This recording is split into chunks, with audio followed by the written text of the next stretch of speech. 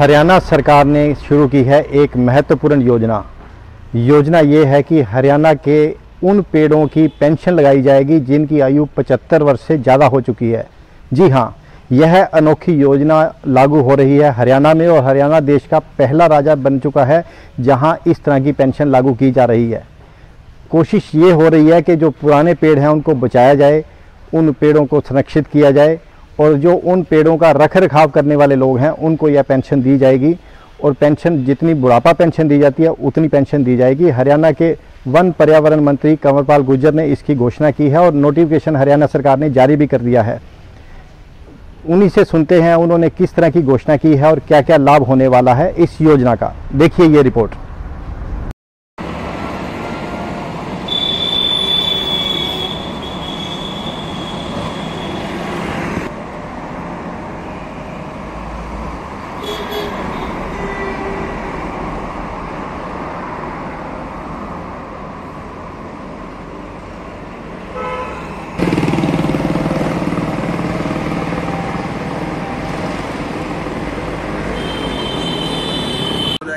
जाएगा से आवादा उनका मानना है कि उसमें वो लाभदायक स्थिति में जो छोटे पेड़ है उनके मुकाबले में ज़्यादा लाभदायक है। दूसरी बात क्या थी कि जो बड़ा पेड़ है उसमें खोखर होती है। मतलब बीच में एक सुराख सा पड़ जाता है पुराना होने के बाद ना जी। पानी रिश्ता रहता है और वो लकड़ी गलती रहती है उसमें एक खोखर सी पड़ जाती है। तो बहुत से पक्षी ऐसे कि आज उसका नोटिफिकेशन हो चुका है। और मेरे दिमाग में काफ़ी टाइम से एक बात थी। कि जो बड़े वृक्ष हैं बड़े बड़े पेड़ हैं तो उनको देखने से एक अलग टाइप की फीलिंग भी होती है।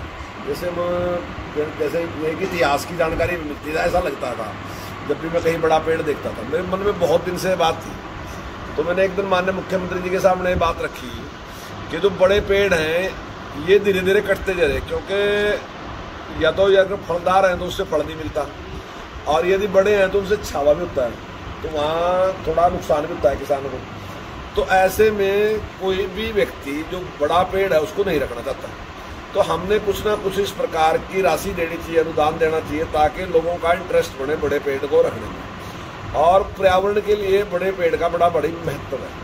जहाँ तो जो विशेषज्ञ उनका मानना है, पेड़ जितना भी ऊँचा होगा, उसकी जितनी लंबाई होगी, उतना ही वो पर्यावरण को संरक्षण करने में बड़ा योगदान देगा, क्योंकि ऊपर जाके जिस प्रकार से का उनका मानना है। कि उसमें वो लाभदायक स्थिति में जो छोटे पेड़ हैं उनके मुकाबले में ज़्यादा लाभदायक दूसरी बात क्या थी कि जो बड़ा पेड़ है, उसमें खोखर होती है। मतलब बीच में एक सुराख सा पड़ जाता है, पुराना होने के बाद, ना जी? पानी रिश्ता रहता है वो लकड़ी गलती रहती है, उसमें एक खोखर सी पड़ जाती है। तो बहुत से पक्षी ऐसे हैं जो उस खोखर में ही अपने अंडे देते हैं। तो उनके लिए भी वो बहुत ही ज़रूरी था।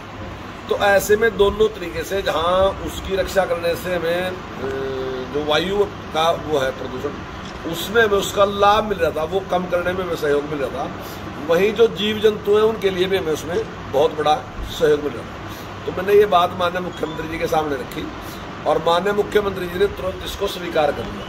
तो अब जितनी पेंशन हम बुज़ुर्गों को देते हैं, उतनी पेंशन प्रति वर्ष हम उस पेड़ की भी देंगे जो पेड़ सत्तर साल से पुराना होगा, ताकि उनको संरक्षण दिया जा सके और उनके प्रति लोगों का झुकाव हो, उनके प्रति सम्मान भी बढ़े।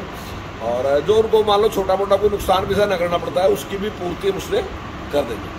और ये स्कीम पूरे देश में हमारी पहली स्कीम है। अभी तक मैं समझता हूँ कि अपने देश में कहीं भी किसी भी राज्य में इस प्रकार की स्कीम नहीं है।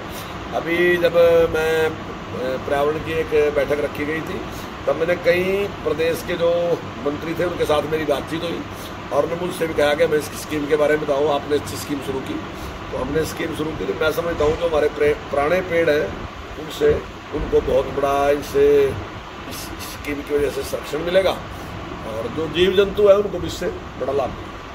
आयु कैसे तय होगी इस पेड़ की कितनी आयु होगी इसका एक सिस्टम होता है और वो अपने जो वन विभाग है उसके पास है उसको देख के वो बता सकते हैं कि कोई भी पेड़ उसकी उम्र कितनी है। तो उसका उससे पता चल सकता है। हमने इसकी काफ़ी पड़ताल कर ली और अभी तक तैतीस सौ से तीन हज़ार तीन सौ से ज़्यादा पेड़ हमारे उसमें आए हैं। लेकिन जैसे ही नोटिफिकेशन होगा उसके बाद जैसे जैसे हम ये देना शुरू करेंगे अगर कुछ और पेड़ होंगे तो निश्चित तौर से वो मालिक हमारे पास आएँगे और वो अगर उसके लिए अप्लाई करेंगे तो हम उनकी भी शुरू कर देंगे। मेरा अनुमान है कि शायद ये चार हज़ार तक संख्या पहुँच सकती कोई भी पेड़ होगा जो पेड़ जिस प्रकार के हैं तो उनमें जो भी इस प्रकार के पेड़ हैं जो पुराने पेड़ हैं मतलब उसमें हमने अभी सिद्धा तो नहीं इसमें रखा इस प्रकार के पेड़ तो नहीं है। पर दूसरे पेड़ हैं जैसे आम का पेड़ है गुल्लर का पेड़ है या पिलखण का पेड़ है या पिपड़ का पेड़ है जिस प्रकार के जो पेड़ हैं वो सारे के सारे मैंने इसमें है